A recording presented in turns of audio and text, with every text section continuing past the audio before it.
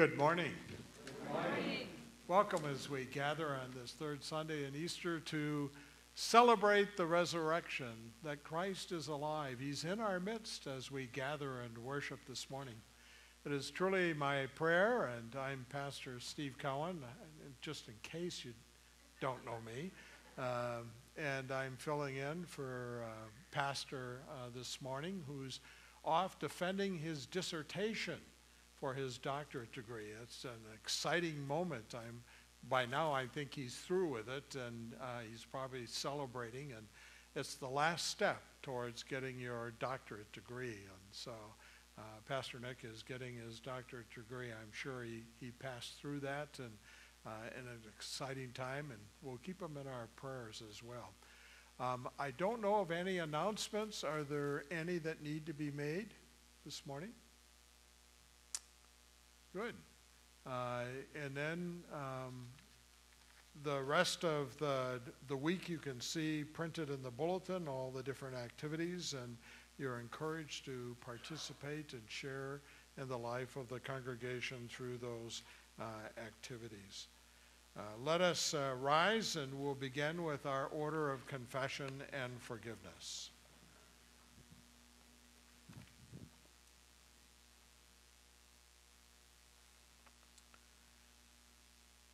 We gather together today in the name of the Father, and of the Son, and of the Holy Spirit. Amen. Gathered by the Holy Spirit, let us confess our sin.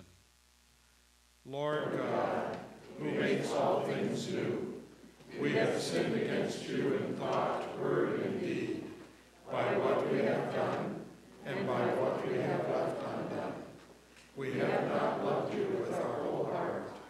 We have not loved our neighbors as ourselves.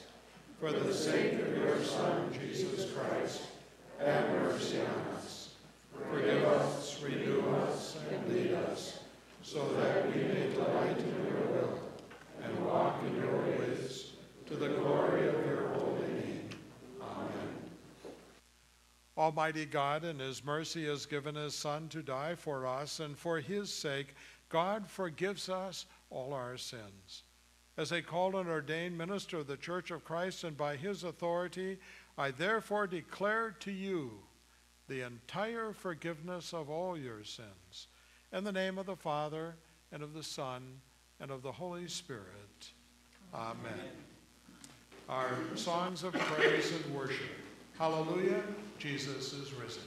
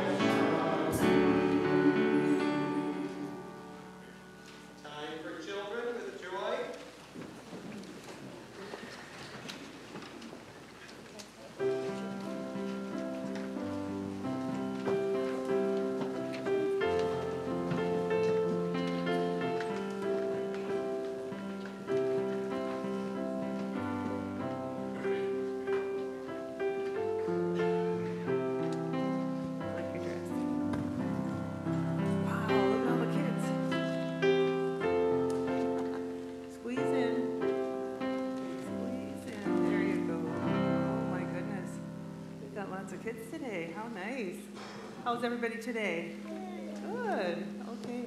We have a nice sunny morning. Beautiful Sunday. You are. Okay. new shoes, Oh. New shoes with bumpers. That's great. Okay. Well, thank you for coming up this morning. Uh, I'm going to talk a little bit about the disciples and the apostles today, and I have a book to read to you. Usually, when I talk about Jesus' disciples, I say that they were his students and special friends.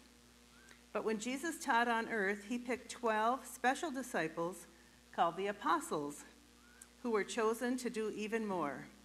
They would not only learn from him, but also come to truly believe the good news, help Jesus as he taught, and then go out themselves to bring the good news of Jesus to others.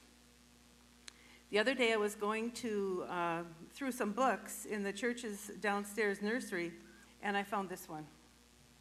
I don't know if any of you have seen it down there. Whoops. Haven't. You haven't seen it, hey? It's Jesus and the 12 Dudes Who Did by Mindy McDonald. Recently, we've been hearing about the 12 apostles. Last week, Doubting Thomas is what I talked about. And before that, we, we heard about Judas, who be- betrayed Jesus, and Peter, who denied Jesus. Remember when the cock crowed? And uh, so today we're going to hear about all 12. Just, just a real quick story, and then we'll have a little song and a prayer, and we'll, we'll take care of business. So, Jesus and the 12 dudes who did. I'm not going to read everything from this side, but I'm going to read everything from this side. Why are they dudes? Uh, I think that's just a fun name for, for guys, usually. so, Jesus and the 12 guys. but dudes who did sounds kind of cool. Okay. A long time ago, when Jesus called 12, a, long time ago, Jesus called 12 guys. There you go. That's the right answer. Who were all different in goodness and size. They were called disciples and they followed Jesus closely. They gave up their jobs. They were fishermen mostly. If you listen closely, you'll hear some rhymes in here. And first we are, um, we have a, a name by Andrew. So Andrew was the first to hear Jesus call. He spent his life sharing Jesus with all. See other little heads stick out there too, hey? I like the way they put this book together. John was the youngest and very full of love. He loved to talk to Jesus and God above. Philip was the one who stopped to think how can Jesus give 5,000 people food and drink? Old Bartholomew was honest and true. Jesus loves a pure heart, Bart would say to you. James was very quiet with not a lot to say, but he served Jesus well and he lives with him today. Thaddeus did what Jesus said without quitting, always helping people. You'd never see him sitting. Thomas didn't always believe what Jesus said. Faith was in his heart, but doubt was in his head. About halfway through, hey? Simon was excited about Jesus' teaching. He would sit and listen, then go out preaching. Judas was a man who went his own way. He didn't stay with Jesus even on the last day. Peter talked a lot about many things what's right and wrong, and the joy Jesus brings.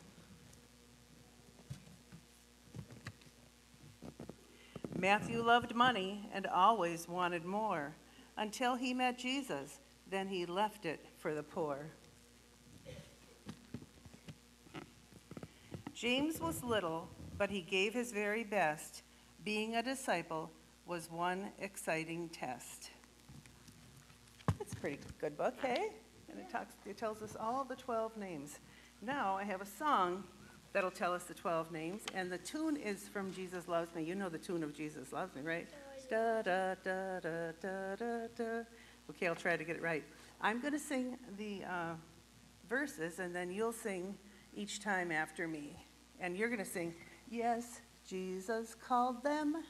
Yes, Jesus called them. Yes, Jesus called them, and they all followed him. Okay? So I'll do the first part. I hope I can get it right. This song is new to me. Jesus called them one by one Peter, Andrew, James, and John. Next came Philip, Thomas, too, Matthew, and Bartholomew. Your turn. Yes, Jesus called them. Yes, Jesus called them. Yes, Jesus called them, and they all followed him.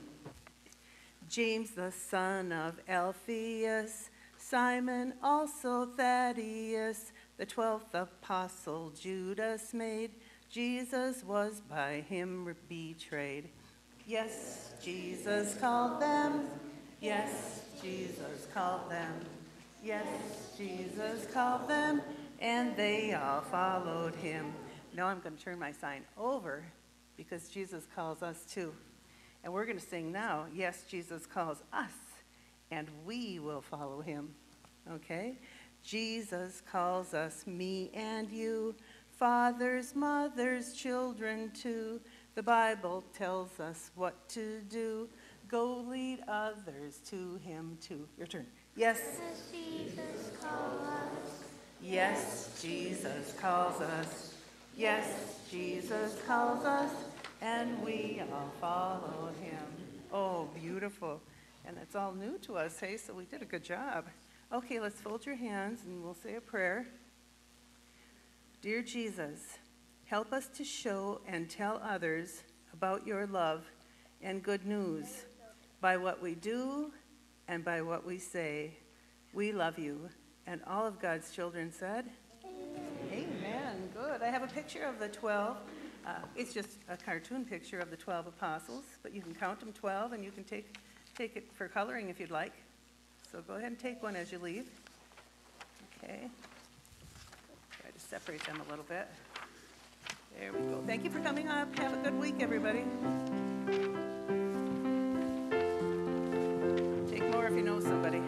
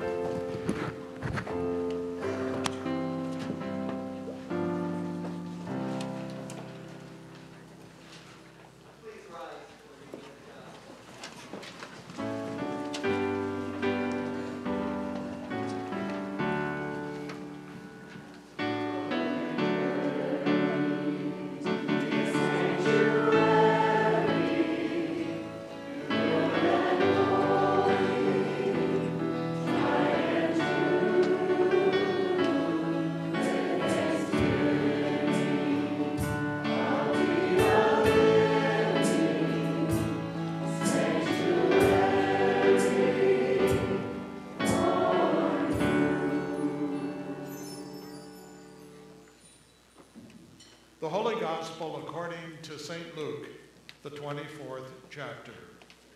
Glory to the Lord. Jesus himself stood among the disciples and said to them, Peace be with you. They were startled and terrified and thought that they were seeing a ghost. He said to them, Why are you frightened? And why do doubts arise in your hearts? Look at my hands and my feet. See that it is I myself. Touch me and see, for a ghost does not have flesh and bones as you see that I have. And when he had said this, he showed them his hands and feet. While in their joy they were disbelieving and still wondering, he said to them, Have you anything here to eat? And they gave him a piece of broiled fish. And he took it and ate it in their presence. Then he said to them, These are my words that I spoke to you while I was still with you, that everything written about me in the law of Moses, the prophets, and the Psalms must be fulfilled. And then he opened their minds to understand the scriptures. And he said to them, Thus it is written, that the Messiah is to suffer and to rise from the dead on the third day, and that repentance and forgiveness of sins is to be proclaimed in his name to all nations, beginning from Jerusalem. You are witnesses to these things. This is the gospel of the Lord. Praise to you, O Christ. Please be seated.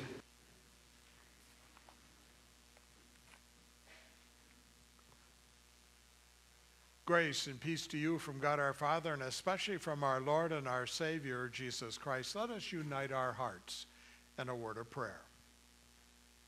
Gracious Lord Jesus, out of the beauty of this morning, we have come together to worship you, to proclaim you our Savior and our Lord. Truly, Lord, help our hearts to be open to you, that you are alive and in our midst. And even as we proclaim that, we realize it is true. And because you live, we too have the hope and the promise of that life which is truly eternal. Bless us now with your presence, encourage us, and in our doubt, have forgiveness and grace, and encourage us as your disciples. Jesus, in your precious name we pray. And all of God's people said, Amen. Christ is risen. He is risen indeed. You know, an easy way of saying that simply is that Jesus is alive. Ooh, that that gives a little more zest to it. It isn't just that he's risen, you see, but he's alive. And because he's alive, he's in our midst this morning in our worship service. He is. Trust me, he's here to touch our hearts and to encourage our lives and to share with us the hope and the promise that the resurrection truly brings to us. You know, I think the greatest affirmation of the church is not the affirmation that Jesus was born of a virgin, of Mary. No, although that's true. But that's not the greatest affirmation. It's not the affirmation that he performed incredible miracles, and he did too, didn't he? I mean, all the way from quieting storms to, well, taking water and having a wine fest. Wow, that's a miracle. That's pretty exciting. But then raising the dead by simply calling out their name and calling them forth into the world. He did fabulous miracles. But that, that's not the greatest affirmation of the church. It, it could be that he was a profound teacher, and he was, but no, that's not it. And it might even be that he embodied the very presence of God himself. Think of it. As we saw Jesus, we saw God. And he walked in our midst. The God who created all that is is in wholly and completely in Christ, and to know Christ is to know God, and to know God is to have, well, let me tell you, you think you have political power today by somebody you know? Nah, that's not even comparable to knowing God, who has created all things and sustains all things and gives us all hope when there is no hope. God is there to give us hope. Jesus embodied that. But you know what? That's not the greatest affirmation of the church. As wonderful and as powerful as that is. We could do a whole sermon on that alone. No, don't tempt me. I, I would like to try, but no, no. The affirmation that Jesus Christ is alive is the most powerful affirmation of the church. We do not serve a dead leader. We serve a living leader. who is in our midst to guard our lives and encourage our lives and to strengthen us as we journey. And you know what? That's the Easter message, isn't it? How can we make that message viable this morning? What is it that I can say that will take that affirmation of that message that Jesus is alive and truly transform your life?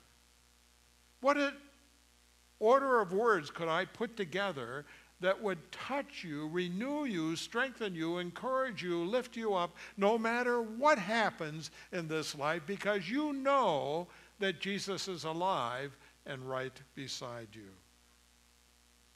What might I say? What do you need to hear in order that the Easter message might truly transform you? That would make you see all the difference in your life. It was an impossible situation as you think of the 11 followers of Jesus as they gathered to discuss in private their next move. I mean, certainly they were frightened, they were confused. Here are the facts they were betrayed by one of their own, Judas. If Judas can betray us, who else might? Can they trust one another? After all, they did trust Judas. He was there at the final meal. He broke bread and dipped it in the same wine that Jesus did. Jesus had foretold that he would betray him. Can, can we trust each other this morning? Here are the facts. The crowds had only the week before been hollering as Jesus went into Jerusalem, Hosanna, Hosanna, save us, Lord. Oh my gosh, they were excited. Cloaks were thrown on the road, palm branches were spewed in front of the donkey as Jesus rode into Jerusalem. Hosanna, they shouted. And only six days later on Good Friday, what did they hear? Hosanna became crucify him. Their leader had been executed, and, and that is way too weak a statement for Jesus. We can't even begin to imagine the torture that Christ went through. How they beat him with a cat of nine tails and ripped the flesh from his bones and then nailed him to a cross, the most miserable way of dying that one could possibly think of. Do you know that when Jesus was on the cross that he could call 10,000 angels? I mean, they wrote a song about it, but he easily could. Now, I want to ask you a, a personal question. Can you defeat an angel? I can't. I wouldn't even know where to begin. And then 10,000 of them? Oh my goodness, what an army that must have been. And yet Jesus chose not to do that. He chose to suffer. It was his choice to give his life. And he did give his life. They had denied their relationship with Jesus. All the disciples had fled, none of them stayed with him. They all ran. They were fearful that because their leader was killed, they too might be killed, let alone even begin to spread what Jesus had been teaching them for three long years. No way, they weren't going to do that, for they would be arrested, they would be tortured, they would be nailed to a cross as Jesus was. Into this hopeless sense walks a man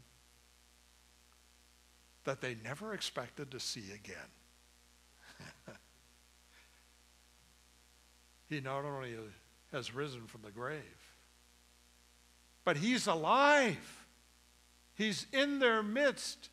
He can talk to them and share with them and encourage them and uplift them. And he says, Death has no power over you in me.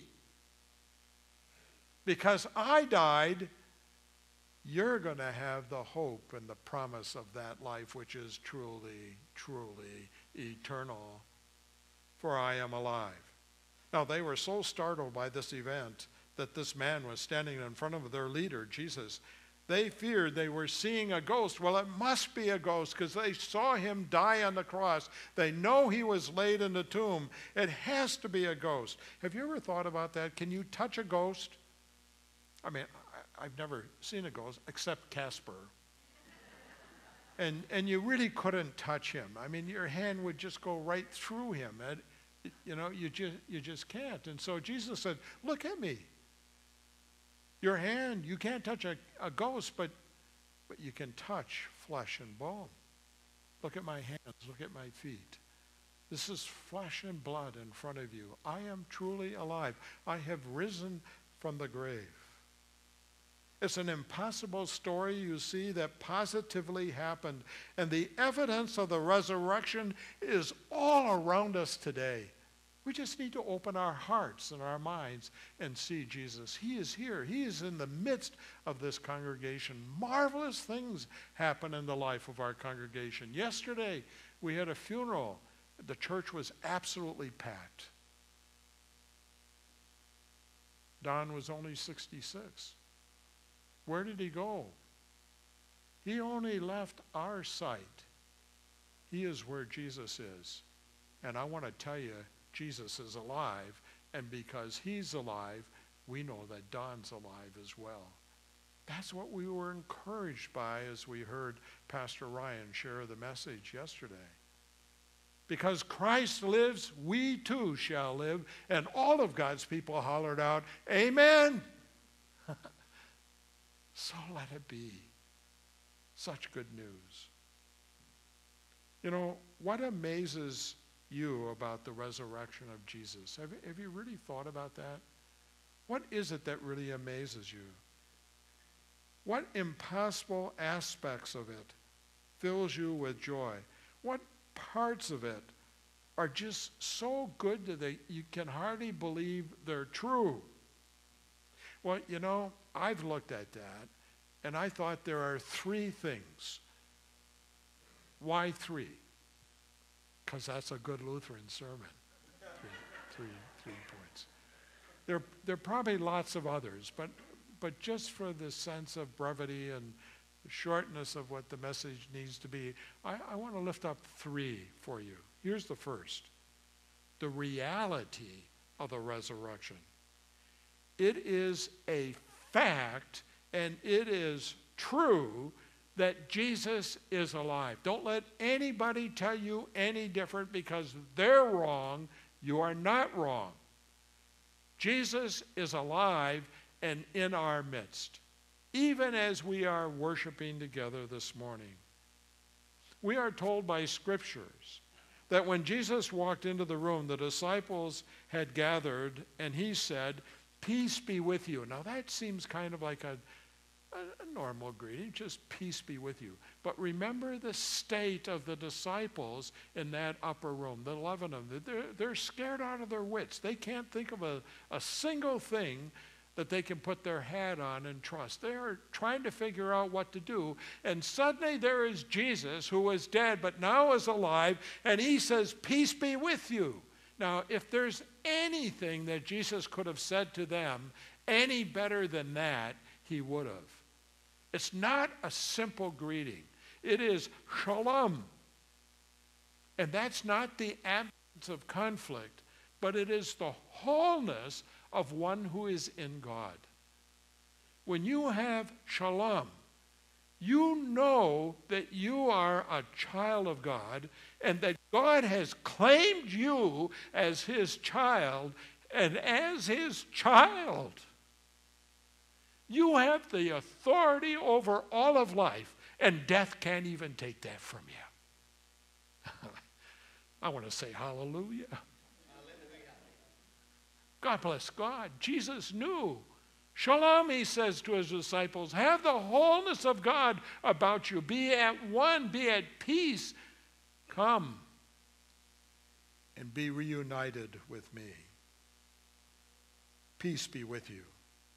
They were frightened. It was a ghost. I mean, what else could it be? They were, you see, not the kind of people who were easily convinced. These were men of common sense. Oh, uh, gosh, what a frightful thing that is.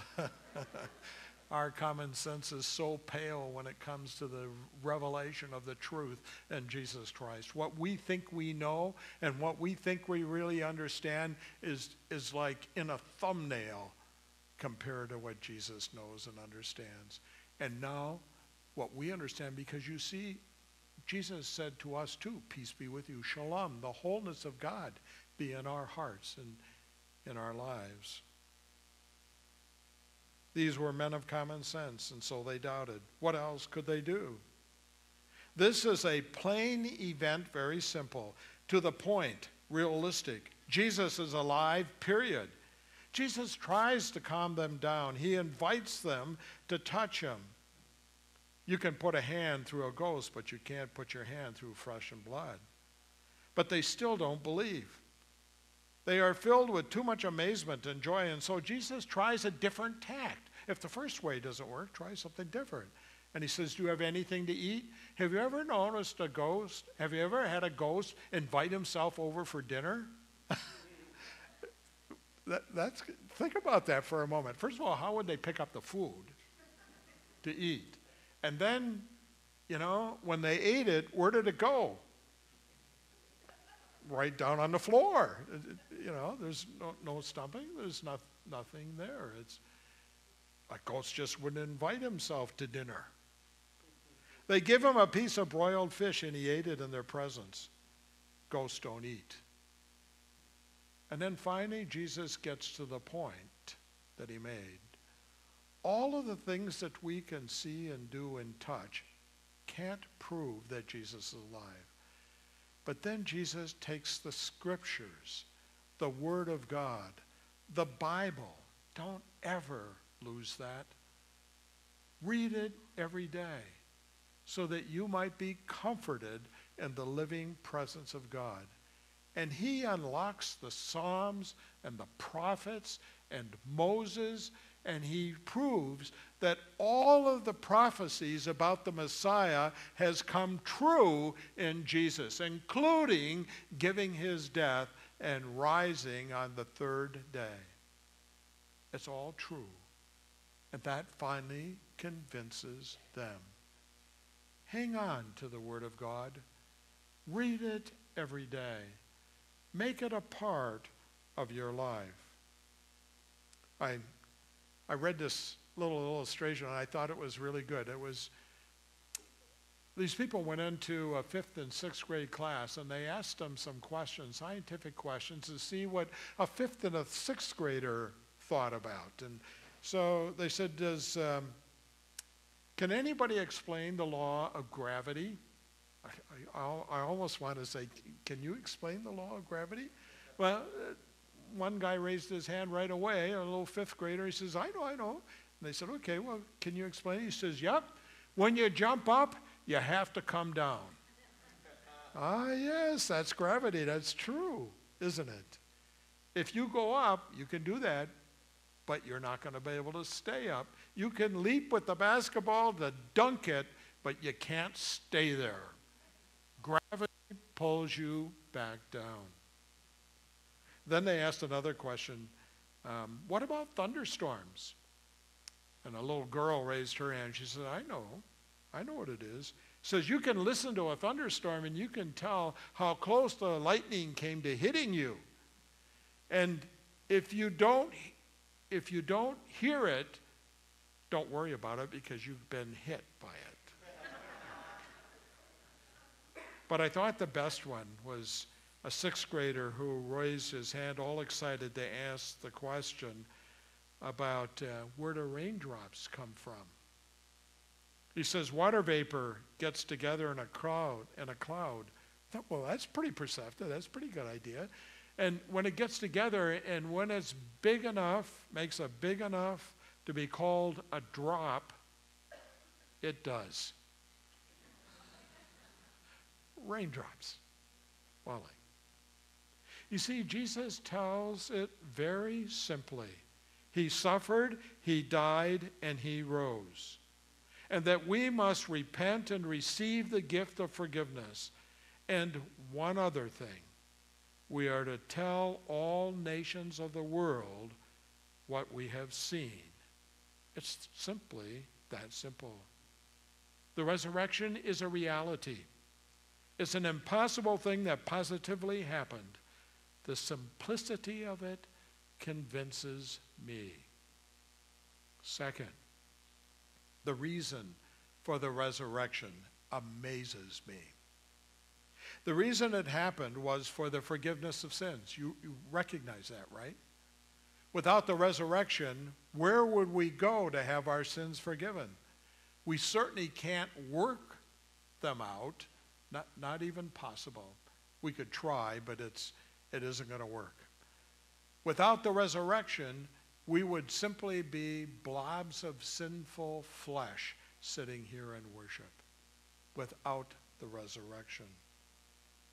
That's what Jesus told his disciples.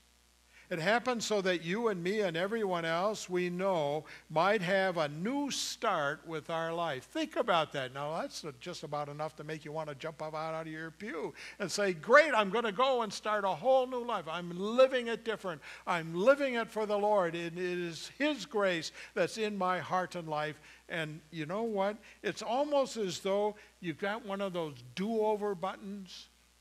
You've seen those, right, in the ad. And you do something, it's, it's kind of like, well, you, you wrote out this, this um, uh, response on email, and then you sent it, and the minute you hit the send button, you thought, no, that's not what I wanted to say. Oh, that should have gone there. Oh, I wish I could get it back. Can you get it back? No, no, you can't. You have to have a do over button. And that's what Christ did for us in the resurrection. We get to do it over in our life. A brand new start, children of God, eternally brought together in Christ. That is, we believe that Jesus is our Savior. Forgiveness comes from Jesus alone. I love the story, and I might have shared it before because I'm 77 and can't remember everything I ever said anymore. Uh, but it, it's a profound story with, with an absolute truth that I want, I want you to catch.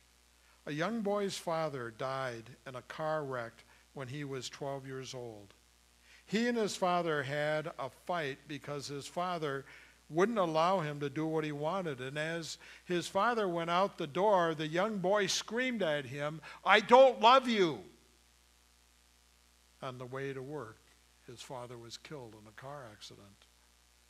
The guilt of those last words spoken to his father ate at that young son's heart.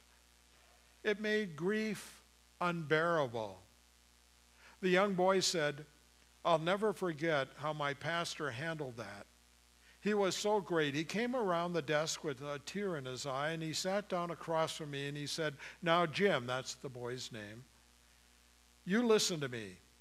If your dad could come back to life for five minutes and be right here with us, and if he knew you were worried about what you had said to him, what do you think he would say to you? He would tell me to quit worrying about it and that he still loves me. I, I love that part. Still loves me. How true that is about Jesus. He died on the cross because of us, because of our brokenness and sinfulness, but he still loves me. And if he can love me, I know he can love you. And he still does. Do you understand me? And the boy said, Yes. And so the minister said, Well, then, stop worrying about that right now. You get it? Yes, sir, he said, and he did.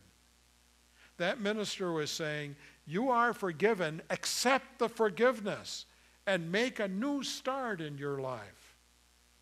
That young boy did make a new start, and today he, several years later, many years later, He's the pastor of a 9,000 member church in Houston, Texas.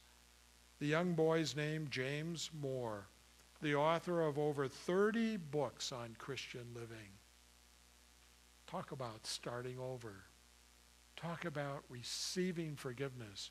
You know what? When you receive the forgiveness of Christ, when the Lord is alive in your heart and in your life and journeying with you, it, you can do anything.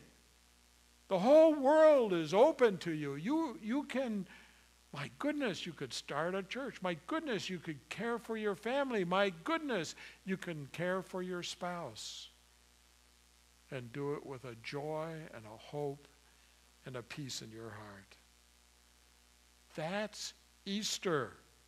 The risen Lord comes back to life and assures the disciples that they are forgiven. Peter had denied Jesus three times. Thomas doubted. All the disciples had forsaken him. But Christ came back. He said, I still love you. You're forgiven. You are forgiven. When we leave here this morning, there is not a single sinner that leaves here. Only resurrected saints of God. Isn't that exciting? I mean, I can, I'm about ready to jump out of my skin. I think that is just, all of you are going to be unleashed on the world. That's phenomenal. That's God's plan for His creation. He comes today, this morning, to share with you the joy, the, the encouragement, and the forgiveness of Easter. That's the reason for the resurrection. It sounds impossible, but it positively happened for that reason, for our forgiveness. God still loves us. Third, yes, the final one, almost done. The reach of the resurrection absolutely amazes me. This message of forgiveness is to be carried everywhere we go. Repentance and forgiveness of sins, said Jesus, will be preached in His name to all nations, beginning at Jerusalem. Notice he said, beginning at Jerusalem. It is not to be confined within the walls of any city or home or church. We cannot expect the world to come to Jerusalem to hear the message. No, Jerusalem must go to the world. Jesus did not command the whole world, world to go to the church. Why not? Well, first of all, how would we get the whole world in here? That, that would be pretty, pretty hard. But we are to go out to the world and to share the good news of Easter that God still loves us, that He forgives us. You know what? When you get up and you leave, and I, and I said, there's, there isn't going to be a sinner leave from here. There's all redeemed children of God. And you go out and you go down the back steps, look up, and you see a banner that's written across there. You know what that says? Entering the mission field. You are hearing what Christ said. Go and tell the world, not just in Jerusalem, but go out into the world to all nations, literally all people, and proclaim that God still loves them and forgives them. When Jesus explained to the disciples the reason for the resurrection, he immediately told them to reach out to the world with that message. And if they hadn't done that, it would simply become another Jewish sect. Just another movement in the walls of Jerusalem.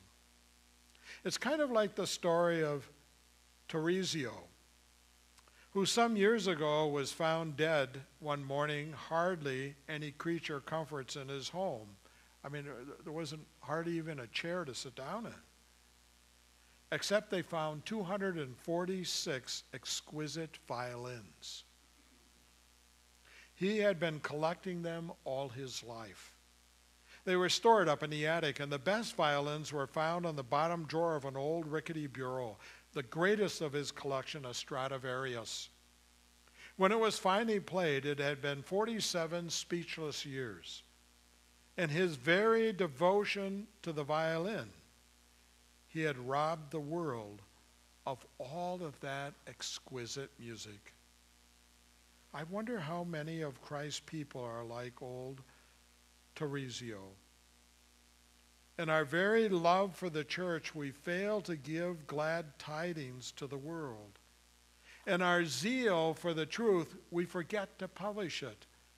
When shall we all learn that the good news needs not just to be cherished, it needs to be told? Don't buy God's good news of Easter, don't bury it in the bottom of a rickety old bureau. Let the people hear the great sound of the music. He is risen. Jesus is alive. It's amazing, isn't it, that the story of the resurrection is now in your hands? It's yours to use, to reach out with, to pass on to your children and to your neighbors. Don't keep it, don't confine it to the walls of Jerusalem or the church. The resurrection of Jesus is a message to the nations, an amazing, joyful, impossible story that positively happened. It's a simple story. That's what makes it so real. It's a story of love and forgiveness. That's why we need to talk about it. It's a story for all nations. Do you know anybody that's not a part of all nations? Nobody I know. That's pretty inclusive. All nations. They are not to transform the church but the church is to transform them with the message that God still loves them and forgiveness is through him. Christ is risen. He is risen indeed. Oh, Jesus is alive. Spread the good news. In Christ's name, amen.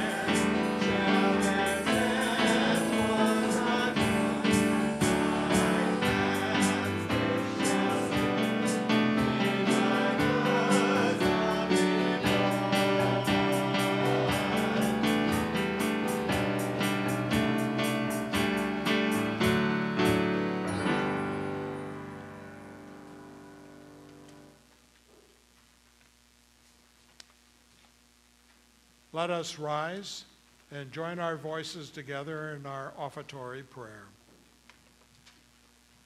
Merciful Father, we offer with joy and thanksgiving what you have first given us ourselves, our time, and our possessions, signs of your gracious love. Receive them for the sake of him who offered himself for us, Jesus Christ our Lord. Amen. Our Lord Jesus Christ, on the night in he was betrayed, took bread, gave thanks, broke it, and gave it to his disciples, saying, Take and eat. This is my body, which is given for you. Do this for the remembrance of me. In the same way, he took the cup after supper, gave thanks, and gave it for all to drink, and said, Drink you all of it. This cup is the new covenant of my blood, which is poured out for you for the forgiveness of sins. Do this as often as you drink of it in remembrance of me. Let us join together in the prayer our Lord has taught us all to pray. Our Father, who art in heaven, hallowed be thy name.